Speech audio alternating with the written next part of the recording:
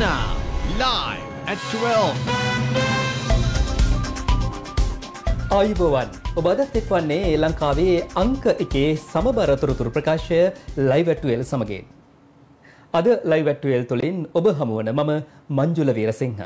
මම චමිකා ගුණසේකර සුපුරුදු පරිදි අදත් මුලින්ම සිරස්ථල. රාත්‍රී සමාජශාලාවක සිට බීමත්ව පැමිණි අයෙකු වැල්ලවත්තේදී සිව් දෙනෙකු යටකර පලායයි. අයෙකු මරුට රියදුරු ඇතුළු දෙදෙනෙකු අත්තරැංගුවට. තවත් කොවිඩ් එන්නත් මාත්‍රා දෙලක්ෂ හැට හතර දහසක් හෙට දිවයිනට. විපක්ෂනායකවරයාගේ අත්තිඩියේ සංචාරය.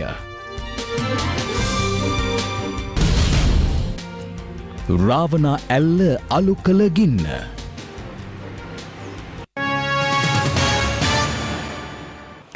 ශ්‍රී ලංකා ගුවන් හමුදාවේ හැත්තෑවැනි සංවත්සරය වෙනුවෙන් සංවිධානය කර තිබූ ගුවන් සංදර්ශනයේ සමප්තිය ඊය පස්සුරුවේ අග්‍රාමාත්‍ය මහින්ද රාජපක්ෂ මහතාගේ ප්‍රධානත්වයෙන් පැවැත්වුණා. ඒ ගාලු මුහුදුරදී. ශ්‍රී ලංකා ගුවන් හමුදාවේ හැත්තෑවන සංවත්සරය වෙනුවෙන් සංවිධානය කළ ගුවන් සංදර්ශනයේ සමාප්ති උත්සවය ඊයේ සවස අග්‍රාමාත්‍ය මහින්ද රාජපක්ෂ මහතාගේ ප්‍රධානත්වයෙන් පැවැත්වුණා. කොවිඩ් මාර්ගෝපදේශයන්ට අනුව විශාල පිරිසකට මේ නැරඹීමට අවස්ථාව ගුවන් හමුදාව විසින් සලසා තිබුණා. Is the Bell 212 aircraft and this formation ගුවන් සංදර්ශනය ආරම්භ වුණේ ශ්‍රී ලංකා ගුවන් හමුදාවට අයත් බෙල් දෙසිය දොළහ හා බෙල් හාරසිය දොළහ හෙලිකොප්ට යානා පෙරටු කොට ගනිමින්. එම සංදර්ශනයට එම්මයි දා හත වර්ගේ හෙලිකොප්ට යානාද එක්කරගෙන තිබුණ. ශ්‍රී ලංකා ගුවන් හමුදාවේ F7 වේග ප්‍රහාරක යානාවත් සමග ඉන්දිය ගුවන් හමුදාවට අයත් තේජස් වේග ප්‍රහාරක යානාවද ගාලු මෝදර අහස මෙලෙස වර්ණවත් කළා.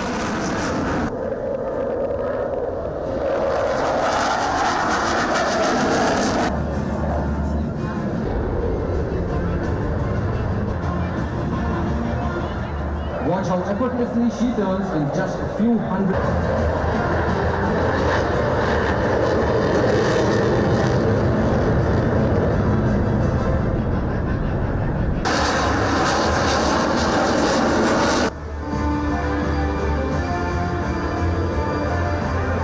And this අනතුරුව ගුවන් සංදර්ශනය සඳහා පැමිණියේ ඉන්දිය ගුවන් හමුදාවට අයත් සාරංග හෙලිකොප්ට යානා හතරයි. Oh my gosh! That's definitely a surprise and number four has pulled up. I'm sure he's trying to propagate the social distancing norm this time.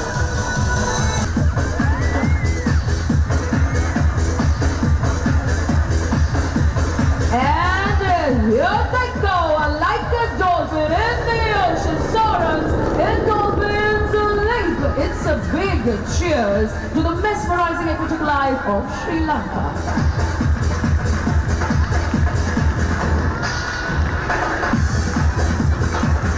himself for the vertical charging.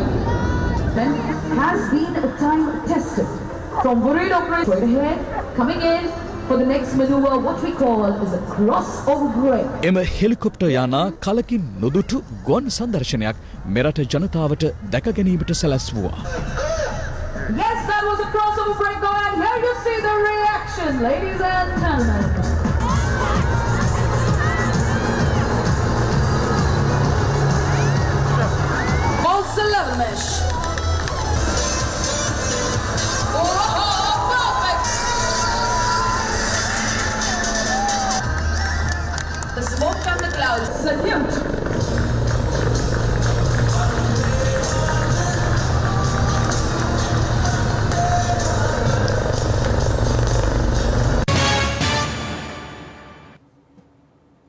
ජනාධිපති ගෝටාභය රාජපක්ෂ මහතාගේ සංකල්පයකට අනුව ක්‍රියාත්මක ගම සමග පිළිසඳරක වැඩසටහනෙහි දහතුන් වැනි අදියර අද ක්‍රියාත්මක වන්නේ ගිරිබාව වේරකල ප්‍රදේශය කේන්ද්‍ර කර ගනිමින්.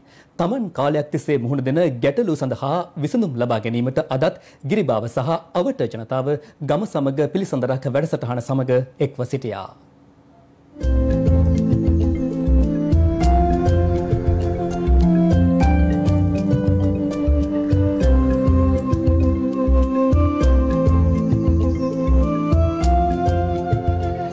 ජනතාවගේ ගැටලු ඔවුන් සිටින ස්ථානයටම ගොස් විසඳන ජනාධිපති ගෝඨාභය රාජපක්ෂ මහතාගේ සංකල්පයක් මත ක්‍රියාත්මක වන ගම සමග පිළිසඳරක් 13 වන අදියර ගිරිබාව වේරගල ප්‍රදේශයේදී මේ වන විට ආරම්භ වී තිබෙනවා. අද පෙරවරු 10ට පමණ ජනාධිපති යානාවක්ද යොමු කළ බව ගුවන් හමුදාව පවසනවා.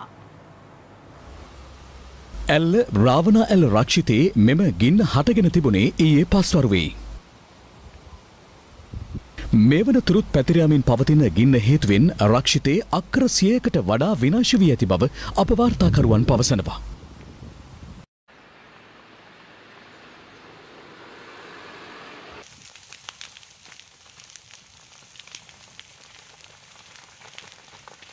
ශ්‍රී ලංකාවට අජිත් ප්‍රේමදාස මහතා අත්තිඩිය අභයභූමියේ මෙම නිරීක්ෂණ චාරිකාවට එක්ුණේ ඊයේ දිනේදී.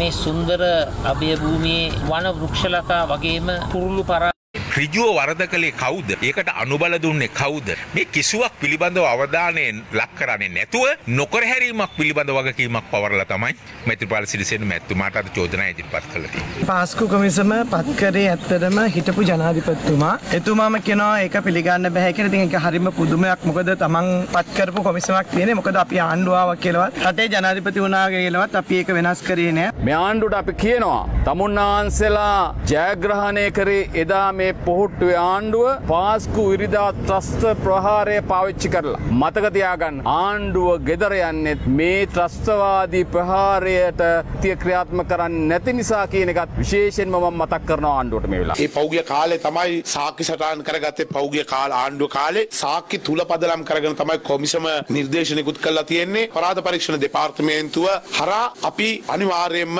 ඒ දඩුවම් ලබා දිය යුතුට දඩුවම් ලබා දිය යුතුයි කියන කාරණාව අපි ඉන්නවා. මේ රජය දිගින් දිගටම අපිට කියනවා විශ්වාසය තියාගන්න අපි මේ වැරදිකරුවන්ට දඩුවන් දෙනවා කියලා. අපි කොහොමද විශ්වාසය තියාගන්නේ විශේෂයෙන්ම මේ පාස්කු ප්‍රහාරය සම්බන්ධව පත්කරපු ජනාධිපති විමර්ශන කොමිසමේ වෙලුම් 22ක් නීතිපතිතුමාට ලබා දීලා නැහැ මේ ආණ්ඩුව ආරක්ෂක හේතුන් මත කියලා. නීතිපතිතුමාට දෙන්න අවශ්‍ය වෙන්නේ සාක්ෂි වෙලුම් පමණයි. ඒතකොට ජාතික ආරක්ෂාව වෙනුවෙන් ගන්න තියෙන පියවරවල් ගැන මම හිතන්නේ ඒ සංවේදී කරුණු ජාතික ආරක්ෂක අමාත්‍යාංශයට තියාගෙන ඉන්න පුළුවන්.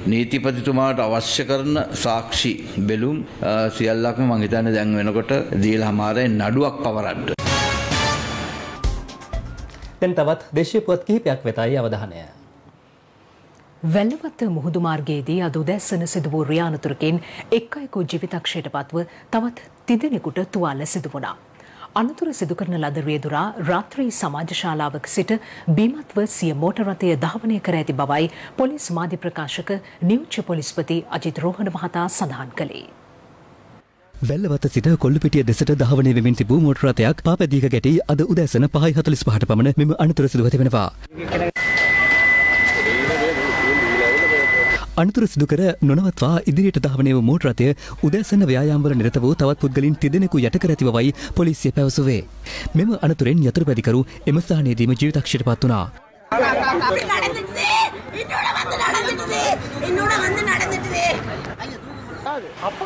නැවැත්තුවේ නෑ. අල්ලගෙන මම පෝස්ටර් දීලා අල්ලගන්න. ඉතින් අරුණ වැයි යයි කියලා. හරි. නාංගලත් මං එහා පැත්තේ ඉන්නේ. දුවගෙන එන බැලුවා මොකද කියලා. වාහනේ ඇදලා යනවා.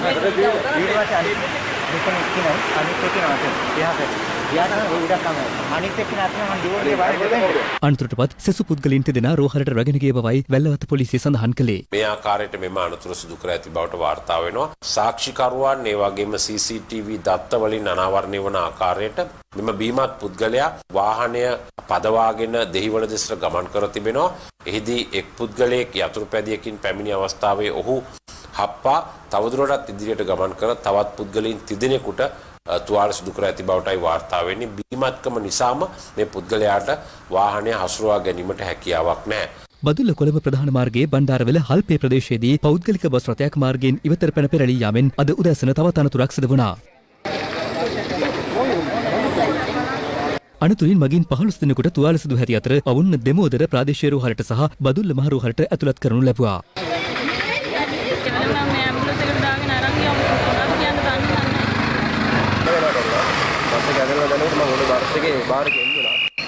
බස් එක ඇදලා දැනුත් මම උඩ බස් එකේ බාර් එකේ ඉන්නුනා. තිබෙනවා බස් එකේ පෙරලෙන තමයි මම දන්නේ බස් එකේ පෙරලෙන මොකක් හරි වෙනවා කියලා. මංගල උත්සවයකට සහභාගී වී නිවස වෙත යමින් සිටි පුද්ගලයන් රැගත් ත්‍රිරෝධ රථයක් කන්ට්‍රේනර් රථයක ගැටි ඊයේ රාත්‍රියේ වාද්දුව පල්ලියමංකඩ මංසන්දියේදී අනතුරක් සිදු වුණා. අනතුරින් ත්‍රිරෝධ රථයේ ගමන්ගත් පුද්ගලයන් දෙදෙනෙකු බරපතල තුවාල ලබා පානදුර මූලික රෝහලට ඇතුළත් කර තිබෙනවා. වාද්දුව පොලිසිය පවසන්නේ කාර්මික දෝෂයකට ලක්ව තිබූ කන්ටේනර් රථය අනාරක්ෂිත ලෙස මාර්ගය අසල නවතා තිබියදී අදාළ ත්‍රිරෝධ රථය එහි ගැටි මෙම අනතුර සිදු ඇති බවයි. නාරම්බල අලව්ව ප්‍රධාන මාර්ගයේ නකලගමුව නුගගහවංගුව අසලදී ත්‍රිරෝධ රථයක් අනතුරට ලක්වීමෙන් එක් අයෙකු ජීවිතක්ෂයට පත්ව තවත් දෙදෙනෙකුට තුවාල සිදු වුණා. අනතුර සම්බන්ධයෙන් සිදු කළ මූලික විමර්ශනවලදී අනාවරණ වී ඇත්තේ රියදුරට වේගය පාලනය කරගත නොහැකිව මේ අනතුර සිදු ඇති බවයි. ගිලන් රථයක් පසුපස දහවනේ වෙමින් තිබූ ත්‍රිරෝධ රථයක් අනතුරට ලක්වීමෙන් තිදෙනෙකුට තුවාල සිදුව තිබෙනවා. තුවාලකරුවන් දික්කොය මූලික රෝහලට ඇතුළත් කළා. රෝගී දරුවෙකු ගිලන් රථයෙන් රෝහලට රැගෙන යන අතර එම දරුවාගේ පියා සහ ඥාතීන් මෙම ත්‍රිරෝධ රථයෙන් ගමන් කර ඇති බවයි පොලිසිය ප්‍රකාශ කළේ. COVID-19 ආසාදිතයින් 350 දෙනෙකු මෙරටින් හඳුනා ගැනීමත් සමග සමස්ත ආසාදිතයින් සංඛ්‍යාව 84960 දක්වා ඉහළ ගියා. ඊයේ තවත් COVID-19 ආසාදිත මරණ හතරක් වාර්තා වූ අතර ඒ අනුව සමස්ත මරණ සංඛ්‍යාව 493ක්. සෞඛ්‍ය අධ්‍යක්ෂ ජනරාල්වරයා ඊයේ තහවුරු කළ COVID-19 ආසාදිත මරණ හතරෙන් තුනක්ම වයස අවුරුදු 60 සීමාව ඉක්ම වූ පුද්ගලයන්. ඒ කොළඹ අටෙහි පදිංචිව සිටි 67 හැවිරිදි පුද්ගලයෙක්, කොළඹ 10 පදිංචිව සිටි 81 හැවිරිදි පුද්ගලයෙක් සහ රාජගිරියේ පදිංචිව සිටි 84 හැවිරිදි කාන්තාවක්. ඊට අමතරව අටාල ප්‍රදේශයේ පදිංචිව සිටි 39 හැවිරිදි පුද්ගලයෙක්ද COVID-19 ආසාදනය වීම හේතුවෙන් මිය ගියා.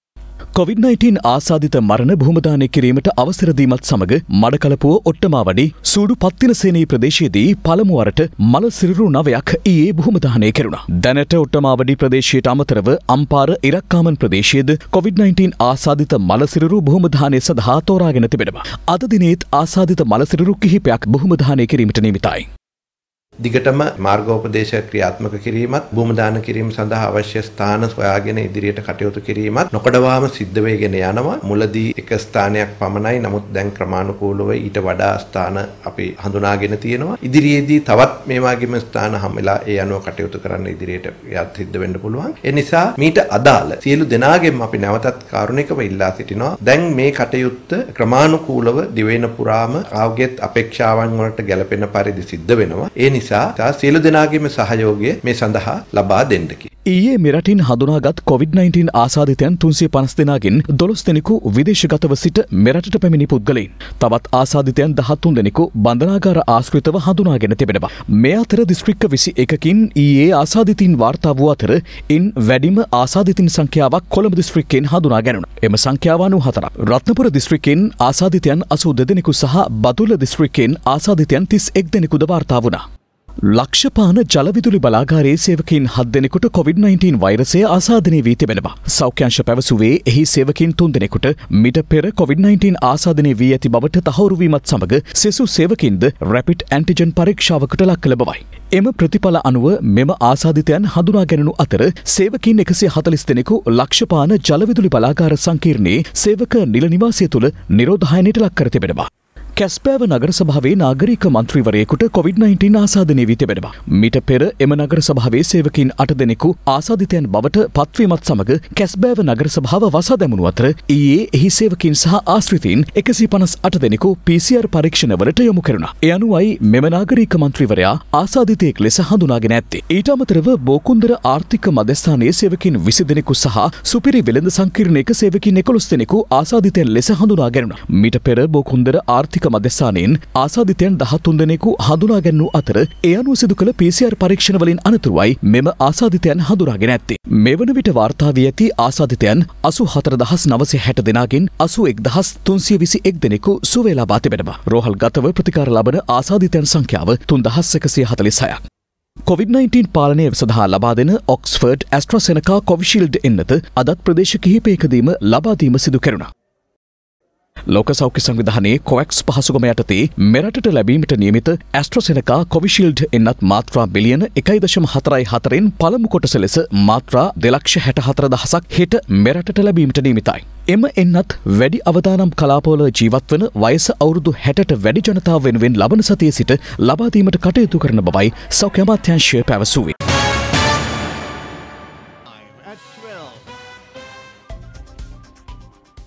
රට වටා සිද වූ තවත් පුවත් කිහිපයක් කෙටියෙන් දකිමු දැන්. ශ්‍රී ලංකාවේ සම්සං කළමනාකාර අධ්‍යක්ෂ කෙවින් සංසුයු සිංහ ආයතනයේ ප්‍රධාන විධායක නිලධාරී මහේෂ් විජේවර්ධන යන මහත්වරුන් විසින් මෙම වෙළඳ කුටිය විවෘත කරනු ලැබුවා. අප්‍රේල් 15 වෙනිදා දක්වා මෙම විශේෂ වෙළඳ කුටියෙන් විදුලි උපකරණ සඳහා 30කට අධික වට්ටම් ලබා ගැනීමට පාරිභෝගිකයන්ට අවස්ථාව හිමි කර දී තිබෙනවා. ස්වර්ණශ්‍රී සාධනාද සමාජ සත්කාරය යටතේ පන්සල් සියයක් සංවර්ධනය කිරීමේ වැඩසටහනේ තවත් අධීරක් පැවැතුනේ හගරන්වල සිරි පියදස්සනාරාමේදී. ශ්‍රී ලංකාවේ දැවන්තම විවාහ මංගල ප්‍රදර්ශනය වන ද වෙඩිං ෂෝ දෙදහස් විසි එක ඊයේ කොළඹ බණ්ඩාරනායක සමන්ත්‍රණ ශාලා පරිශ්‍රයේදී දා හතර වන වරටත් ආරම්භ වුණා. මේ සඳහා මාධ්‍ය අනුග්‍රහකත්වය ස්වර්ණවාහිනී මාධ්‍යජාලය දරන අතර රන් ආභරණ සඳහා ප්‍රධාන අනුග්‍රහය දක්වන්නේ ස්වර්ණමහල් ආයතනයයි. ද වෙඩිං ෂෝ දෙදහස් විසියක ප්‍රදර්ශනය මාර්තු හත්වනිදා දක්වා උදැසන දහය සිට රාත්‍රියට දක්වා විවෘතව පවතින අතර අද එහි දෙවන දිනයයි. ලයිවට්ටුවල් තුළින් සමුගන්නයි මේ සූදානම. සුබදවස.